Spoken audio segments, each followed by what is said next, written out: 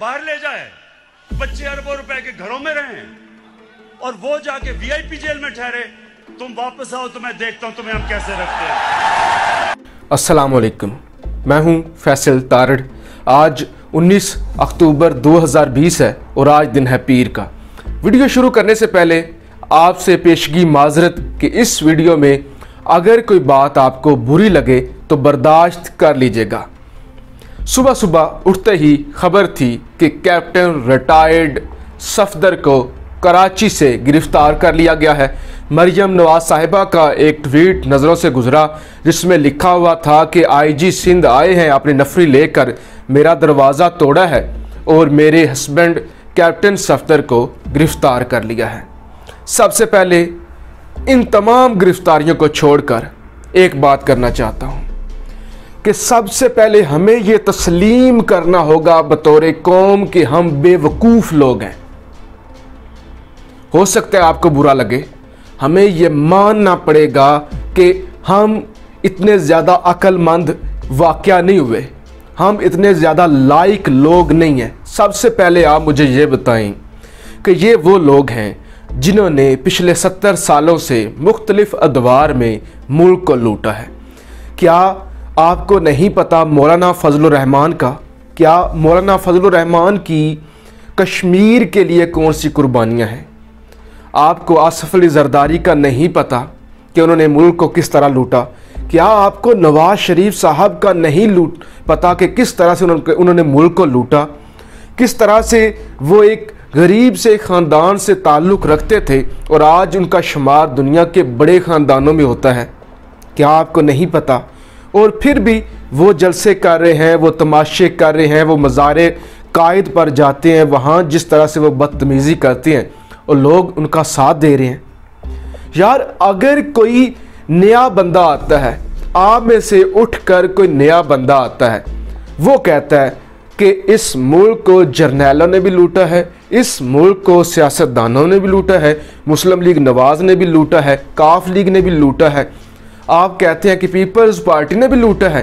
खान साहब से हमें उम्मीदें थी, खान साहब से हमें ये तो थी कि ये जब बंदा आएगा ना तो मुल्क में तब्दीली आ जाएगी।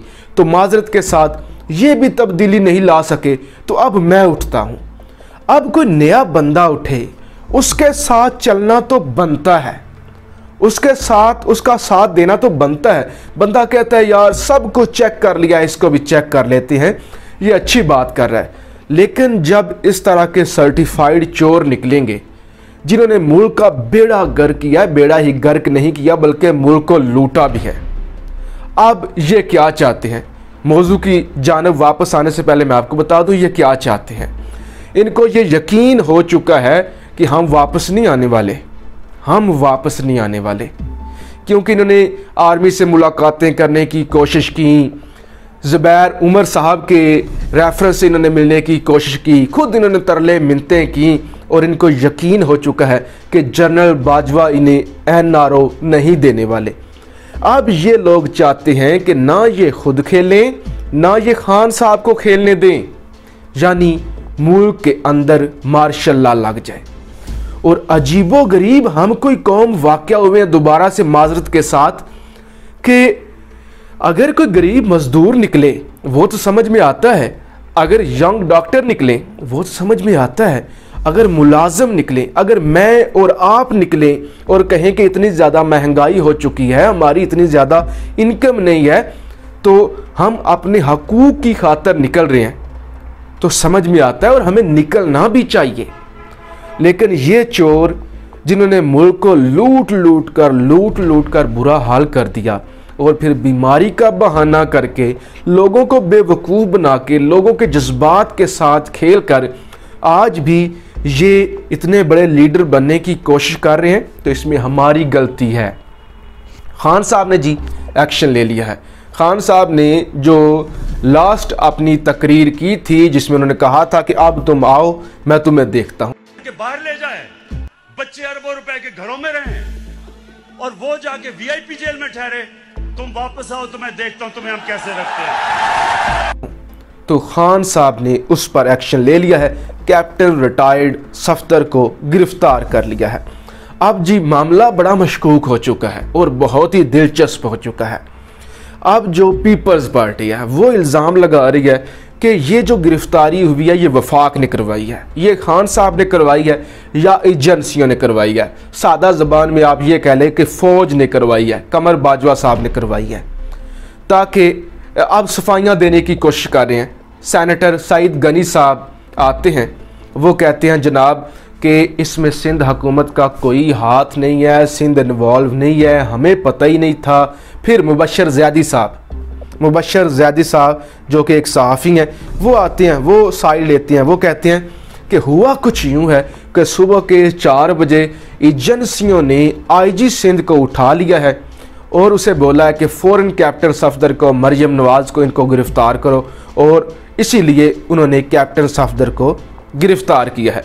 जबकि हामिद मीर हामिद मीर साहब ये कहते हैं कि आईजी सिंध को उठा लिया गया था, उसे किडनैप कर लिया गया था और उन्हें ज़बरदस्ती कहा गया कि आपने इन इन लोगों को गिरफ़्तार करना है। यानी पाकिस्तानी अदारों को फिर से बदनाम करने की कोशिश की जा रही है। ये लोग आज़ादी से घूम रहे हूँ, तब भी फ़ौज को बदनाम करते हैं। ये लोग जेल में हूँ, तब भी फ़ौज को बदनाम करते हैं। लोगों को नहीं बताते कि हमारा भी कोई कसूर है।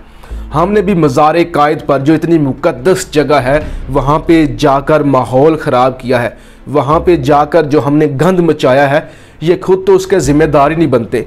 ये लोगों को नहीं बताते कि हमने करप्शन की है।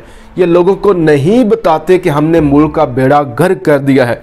जो भी मामला है, फ़ौज को बदनाम करेंगे। और आप भी फ़ौज को बदनाम कर रहे हैं कि फ़ौज ने उठाया है कैप्टन सफ्तर को। इसकी ज़िम्मेदार फ़ौज है। बहरहाल कामरान खान साहब आते हैं। कामरान खान साहब कहते हैं कि मरियम नवाज़ अब कराची जाते हुए, सिंध जाते हुए सौ दफ़ा सोचेगी। अंदरूनी खेल शुरू हो चुका है और क्योंकि पीपल्स पार्टी नहीं चाहती कि अदारों के ख़िलाफ़ बोला जाए, अब आप पूछे क्यों नहीं चाहती? अगर हुकूमत जाती है तो नुकसान किसका होगा? अगर ये लोग इस्तीफ़े देते हैं, किसका नुकसान होगा? नवाज़ लीग का तो नहीं होगा। मौलाना फजल रहमान के पास तो कख भी नहीं है, उनके पास तो सीट ही नहीं है। सिंध में हुकूमत है आसफ अली जरदारी की। तो सबसे बड़ा नुकसान उन्हें होगा कि उनके हाथ से पूरा सूबा जाता रहेगा। जिस तरह से इन्होंने जो खेल शुरू कर लिया है, ये चाहते हैं कि मार्शल लग जाए, ना हमारे हाथ को चाहे, ना इमरान खान साहब के हाथ को छाए तो इसमें नुकसान सबसे बड़ा किसका होगा? सिंध का होगा, कि जरदारी के हाथों सिंध की हुकूमत जाती रहेगी। अब उन्होंने अपनी पुलिस को इस्तेमाल करके कैप्टन रिटायर्ड सफदर को गिरफ़्तार करवाया है। ये कामरान खान साहब कह रहे हैं। और ताकि ये जो आपस में जो पी डी एम है, ये आपस में ही टूट जाए, इख्तलाफात का शिकार हो जाए और आइंदा नवाज़ शरीफ की या मरीम नवाज़ की, नवाज़ की ज़रूरत ना हो कि वो अदारों के ख़िलाफ़ बोल सके। तो आपस में भी इनका इस तरह का खेल शुरू हो चुका है। लेकिन ये हर जगह पे अदारों को बदनाम कर रहे हैं। खान साहब को हरकत में आना होगा और यकीनन खान साहब ने ही अकाम जारी किए होंगे कि इन चोरों को जेल में डालें। हर मुल्क में चोर जेल में होते हैं। हर मुल्क में चोर जेल में होते हैं। और मुझे लगता है, मुझे लगता है, जो आज सत्तर, बहत्तर, तिहत्तर सालों के बाद हमारे मुल्क का हाल है, इसके बाद तो इन लोगों को शर्म आनी चाहिए। ये लाख दफ़ा सोचे लोगों के सामने जाने में। एक क्रिकेट टीम हार के आ जाए तो वो वक्त का इंतखब वो करती है कि जब एयरपोर्ट पे लोग कम हों और उन्हें अंडे ना पड़े। ये सब चोर चक्के जिन्होंने मुल्क को लूटा और आज इनको ज़रा शर्म नहीं है कि ये मुल्की अदारों को बदनाम कर रहे हैं और लोगों को बेवकूफ़ बना रही हैं। ये तो लोगों को मुँह दिखाने के काबिल नहीं है।